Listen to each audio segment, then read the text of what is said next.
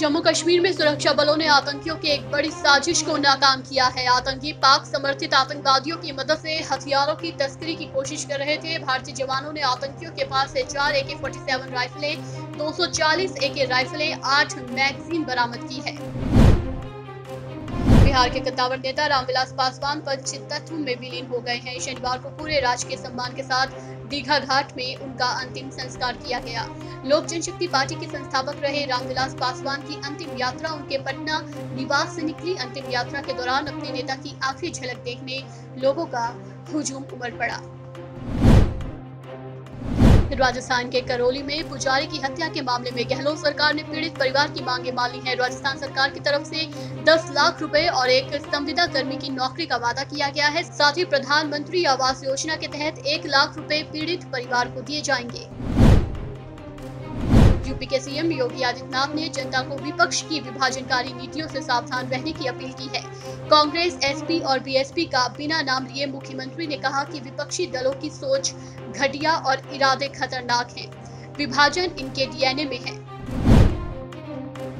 दिल्ली के आदर्श नगर इलाके में दूसरे समुदाय की किशोरी से दोस्ती के चलते छात्र की पीट पीट कर हत्या किए जाने का मामला तूल पकड़ता जा रहा है। दिल्ली के डिप्टी सीएम मनीष सिसोदिया परिवार से मिलने के लिए पहुँच रहे हैं। वहीं हिंदुवादी संगठन के लोग भी पीड़ित परिवार से मिलने पहुँच रहे हैं। क्रिकेटर महेंद्र सिंह धोनी की बेटी जीवा को लेकर सोशल मीडिया पर अभद्र टिप्पणी की गई। हालाँकि रांची पुलिस ने इस मामले को गंभीरता से लिया है और छानबीन शुरू कर दी गई है। इस बीच सिमलिया स्थित धोनी के घर की सुरक्षा भी बढ़ा दी गई है।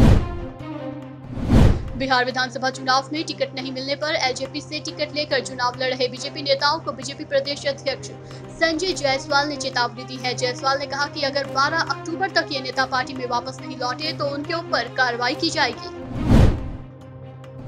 कमलनाथ के नारियल को लेकर चलने के आरोपों पर शिवराज सिंह चौहान ने कहा कि हम नारियल लेके चलते हैं। नारियल सेवा का प्रतीक है। कोई शैंपेन की बोतलें तो लेके नहीं चलता। उन्होंने कहा कि अब हम विकास के कार्य कर रहे हैं तो इन्हें तकलीफ़ हो रही है, कुछ नहीं मिल रहा तो कह रहे हैं हम नारियल लेके चलते हैं।